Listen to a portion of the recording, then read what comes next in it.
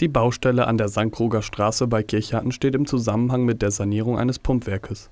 Das Pumpwerk fördert Schmutzwasser aus Kirchhatten nach Sandkrug zu einer Kläranlage des Oldenburgisch-Ostfriesischen Wasserverbandes. Im Zuge der Sanierung werden Pumpen und Anlagen ausgetauscht, die in die Jahre gekommen sind.